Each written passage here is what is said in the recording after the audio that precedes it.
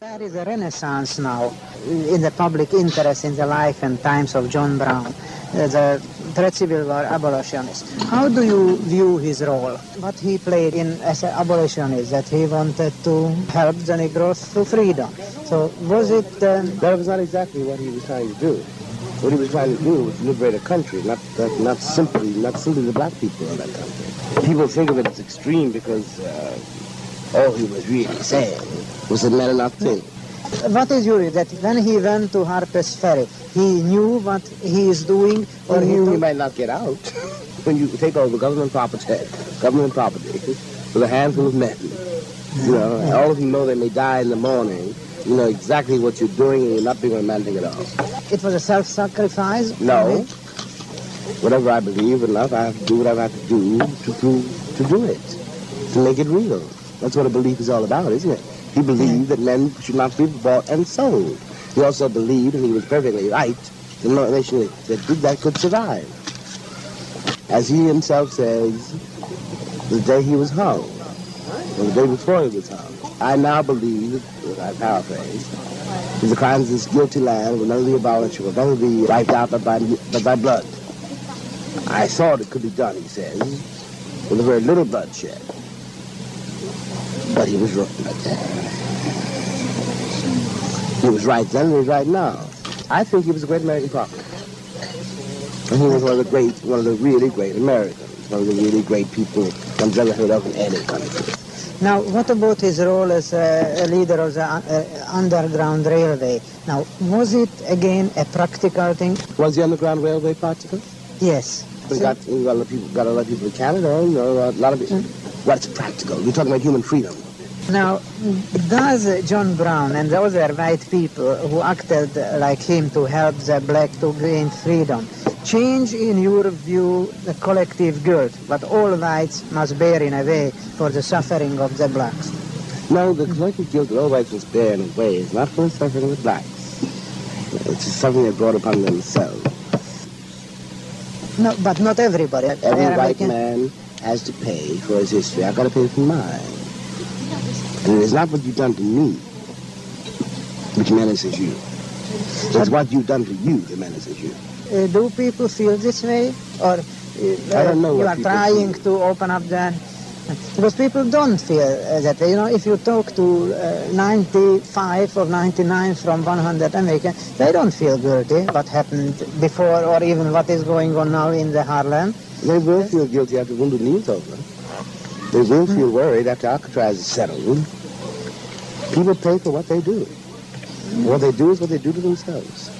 So when I ask you that the history of life, I mean it, that it was full of suffering. And so one can have the feeling that it is all negative, that I don't want to think about it, I want to forget it. it, it Who wants to forget it? It is what I'm asking. It's a very hard question to answer because I see what you mean. And uh, on one level I could say, yes, you know, everyone wants that. Nobody wants to suffer. And you do everything you can to forget it. Uh, but uh, on the other hand, you can't because the situation of being a black American is not is not past or present. And if you want to forget it, you, you can't forget it. You know, it's uh, some some cop will certainly remind you. Some landlord will remind you. A bank will remind you. You know, your kid will remind you. You know, it is not a question of forgetting. You can't forget. Most Americans have not taught history at all. Because, in fact, the whole achievement of being an American is, to, is the attempt to destroy history. You know, there's no point in talking about history to Richard Nixon, for example. But, uh, similar to his wife or his daughter. No. It is not a concept. No, they don't know what a wounded knee is about, for example. They don't know how that happened. They don't know what it means to represent people who've never honored a single treaty with the Indians. And what that means, that's history. You know, it's, it's history. It, it is not history for the Indians. What Americans think about history is something they think they can forget. Mm. They don't know that they have to pay for their history. Because the Indians have paid for it every inch and every hour. That's why they're Wounded Knee. That's why they took over Alcatraz. Mm-hmm. That's how you got Cassius Clay. That's how you got Malcolm X. So they betrayed everybody, from the Indian to you. But many people will dispute it because, you know, they look at it that, uh, for example, uh, America came twice to the rescue of Europe. I will be today... I'm sorry, you're talking to me. It didn't come to my rescue. That's all I know about it. But you have a good chance And good to to come fight. to Europe, and that's you- true either. I'm not disputing, but but America gives you uh, fi- everybody a fighting chance. Didn't give it to me. It gives you are a famous man. You are. I have. I don't know that. I do not, I do not owe that to any American you ever heard of, except possibly John Brown. I don't know. it's hard to argue with you. but no, it it gave you. It gave you not kidding. because no, but it It did not give me. You know what it gave me? It gave me my father and my mother, and his father and his mother. It gave me my ancestry. That is to say, it gave me the auction block, and it gave me, since I had to survive that, my grandmother and my grandfather and my father and my mother knew I had to survive it. It gave me that. so it It did not intend to give me that. It gave me an enormous, enormous sorrow, which I had to learn to live with from the moment I was born. That can be a tremendous gift. The only gift America has given any black person, to say the very least. How would you uh, define the existing relationship between whites and black in America today? What is it? What kind of relationship? Ask John Brown.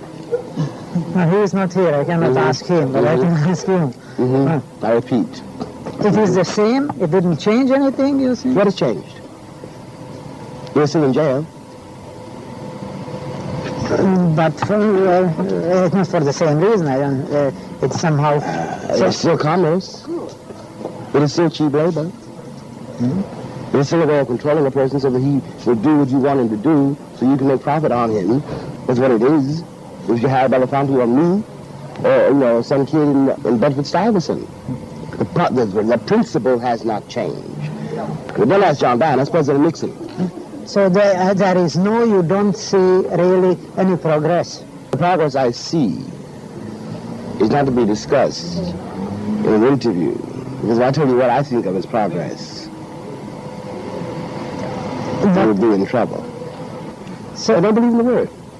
But I have a conscience, let's put it as a conscience. Now, I would like to see changes. So what is the practical way? We It's started a discussion about John Brown, who talked about the federal government in an attempt to liberate not merely black slaves, but a whole country from a disastrous way of life. However horrible it may sound, it was a kind of act of love. Know, it failed. And always, such acts always do fail. And what's left is what the impact made on the conscience of a few people, which travels down in time. No, so it wasn't futile. But until today, the institutions, which is where slavery is acted out, have not changed. Until institutions are changed, there's no point in talking about progress. But how to change the institutions? I am a writer. It's a very special case. And my questions are how to work on people's hearts and work on their minds so they begin to love each other, which is the only, you know, that's a very common thing to say, but the only possible way to get anything done is you take me as serious as you take you. And to realize that your child and my child are going to pay a certain bill if we don't teach our children to love each other. You know? Now, it's important to be reminding as opposed to what's going to happen overnight. It's not going to happen overnight. It hasn't happened. No, it's never, it's virtually never happened in the history of the world. Some people, some people have always believed it and acted on it. Some people never have because it's hard to do. You've got to risk everything to do that.